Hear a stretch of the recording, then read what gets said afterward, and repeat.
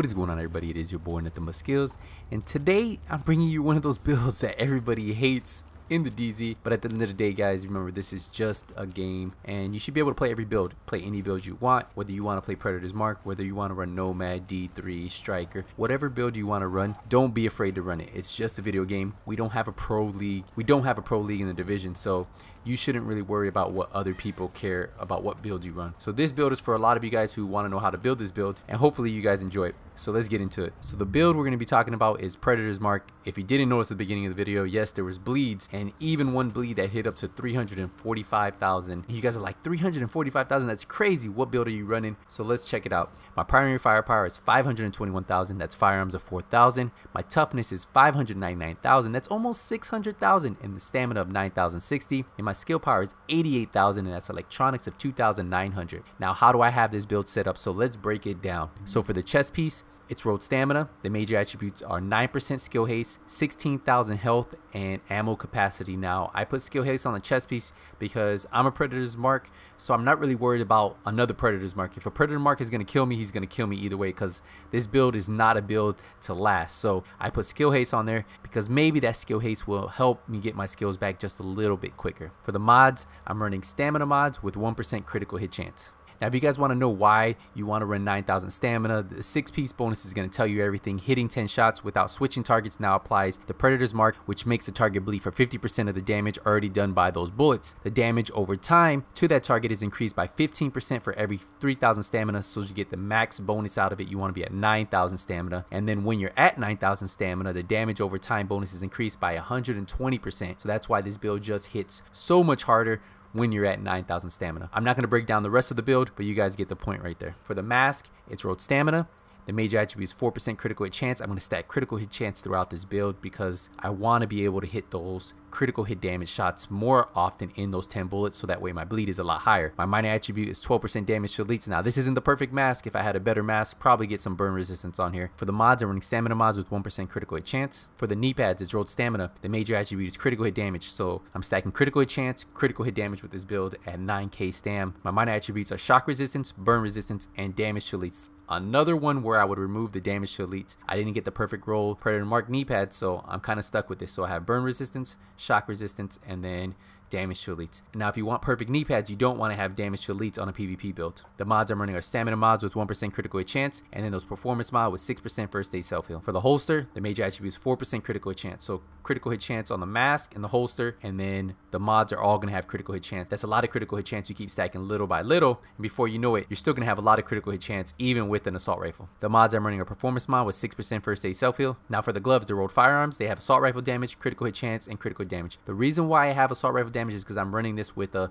urban MDR for those high bleeds. Now, if you want to run a house, you can really run a house, and that's probably going to be better when you have a lot of close quarter combats. But what I like doing is I like having assault rifle damage on here. I fight players from distance, put that high bleed, and then once I get that bleed, hopefully even if they come towards me, they'll have to use a med kit. I can always switch to my house and then hit them with that damage. For the backpack, it's rolled stamina. It has critical damage and ammo capacity. I have ammo capacity on the backpack and I have ammo capacity on the chest piece. For the mods, I'm running stamina mods with 1% critical hit chance. So that's a total of an additional 5% critical chance since I have 5 stamina mods with 1% critical hit chance on this build.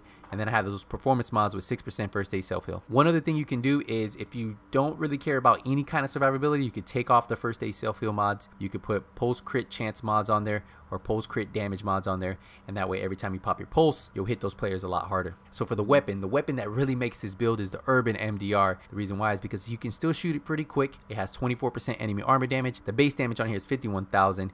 The talents I have work great with 9k stam builds. So I have deadly, critical hit damage is increased by 15%. So every time I hit those critical hit damage shots, they're going to be a lot higher. And then that's why the bleed's going to be so high. And then since I'm stacking critical hit chance on this build, I have a higher chance of doing that. I also stack vicious on here. Critical hit chance is increased by 10% when having more than two segments of health. So vicious works really good with ARs, especially if you're going to use them at distance. That's why I said with this build, I use the urban MDR at distance. When I get close to a player, that's when I switch to the house. So having vicious on here more likely than not, I'm going to have that extra 10% critical hit chance stacked on this build. And then, of course, if you guys don't know, the main talent on the Urban MDR is Distracted. Your damage is increased by 18% against targets with status effects. So every time you do get that bleed on them, if they're from distance, you're going to hit that much harder. Now, the way I have this modded is I have a C79 scope with critical hit damage, critical hit chance and headshot damage. I have an SR7 suppressor with critical hit damage, critical hit chance, headshot damage, a small grip with 19% critical hit damage, optimal range and reload speed, and then I have an extended magazine with magazine size, critical chance and rate of fire. Now for my secondary, a lot of you guys might have this gun. You might have the house and you might use it as your primary with these talents. It has 23% critical hit chance, it has 17.9k base damage, and then the talents I have on here are deadly. Critical damage is increased by 15%. Another really good DPS talent you can have unlocked with a 9k stam build is Unforgiving. Missing health segments increase your damage. One missing segment is plus 10% damage. Two missing segments is an additional 25% damage. That's why using the Urban MDR from distance, you have Vicious active. If they get you under those two segments, most likely they're closer. Then you switch to this weapon. You have Unforgiving unlocked, so you gain some of that damage back. You have Deadly on here, and then you have Card Counter, where one half of the magazine does 20% increased damage. The half which deals increased damage flips after 15 seconds or when the magazine is empty. The way I have this modded is I have critical hit damage, headshot damage, and critical hit chance.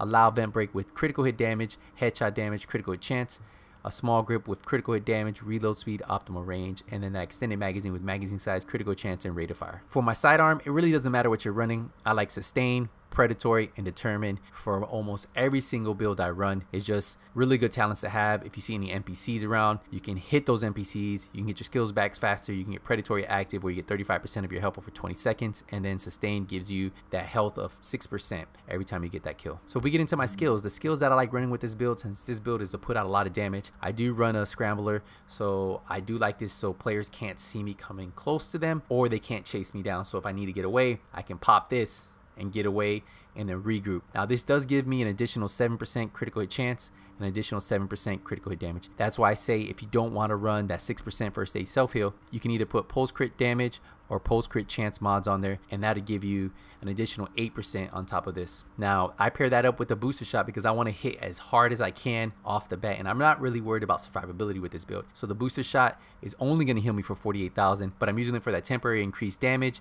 and damage resistance when I do pop my booster shot. This comes back every 46 seconds. My pulse is going to come back every 46 seconds. Now since I am solo, I'm running recovery link and really that's just there because I want to put out as much damage as I can. Let the recovery link pop off and hopefully I can drop them before they drop me. For the talents, I do still run Adrenaline because if they are running Predator's Mark, that's the only thing that's really going to save me. I always run Shrapnel with Predator's Mark because applying a bleed to any target triggers a 30% chance per each target in a 10 meters radius to catch them on bleed. So if there's three players, you catch one on bleed, they have a 30% chance to catch on bleed too. Of course, I'm going to have precision headshot a hostile to pulse them for 10 seconds because that increases your critical hit chance and your critical hit damage for a short time. And then on the move, if I do kill one of them, kill a hostile while moving to reduce incoming damage by 15% for 10 seconds. So this is pretty much my build. This build is really to go out there and melt those rogues. Or even if you get into a server where you find a lot of players coming at you one-on-one, -on -one, you most likely will go manhunt with this build. So if we look at my Urban MDR, my critical hit chances has 37% and that's without the pulse. My critical damage is at 128% and my headshot damage is at 107%. So that's why the bleeds with the Urban MDR are insane and that's why you saw me get one for over 300,000. That's pretty crazy and even on the other bleed it was over 200,000 and bleeds for over 200,000, 300,000 that can make nomads proc, that can make people instantly drop having the Urban MDR with this bleed. If you can get those 10 shots on, build just melts. And if we look at my house, if you guys want to see what I have on here, my crit chance is at 50%. That's without precision. That's without popping a pulse. My critical hit damage is at 130%. So even running this build without SMG on the gloves, if I decided to switch SMG on these gloves, it would hit that much harder. If I'm in a group, that's what I would probably do. I'd probably run SMG on the gloves instead of running the Urban MDR unless I know I'm going to have a chance to switch back and forth. So it really just depends on what you want to do. I like using assault rifle damage on the gloves because I want those high bleeds with the Urban MDR. And the headshot damage is 62%. So yeah, that's my build, guys. This is how I run Predator's Mark if I run Predator's Mark. I haven't run Predator's Mark in a long time. I think today when I made this video was the first time that I ran Predator's Mark. I got on, I went into the DZ. I went rogue first, then I ended up running off the rogue timer because nobody came after me. I found some rogues that you guys saw. I killed them and then that was pretty much it. I really just got on to see how hard this build still hits because it's been such a long time. But this build still melts. If you guys still want to use it, a lot of people said that Predator's Mark isn't around anymore. It still does damage, guys. And remember, whatever build you guys choose to use, use that build, have fun with it. It's just a video game, guys. If you guys can't deal with it, you might need to try a different game. And that's the truth, guys. There's ways to fight Predator's Mark. There's ways to fight Nomad. There's ways to fight D3. There's ways to fight Striker. Well, Striker got nerfed.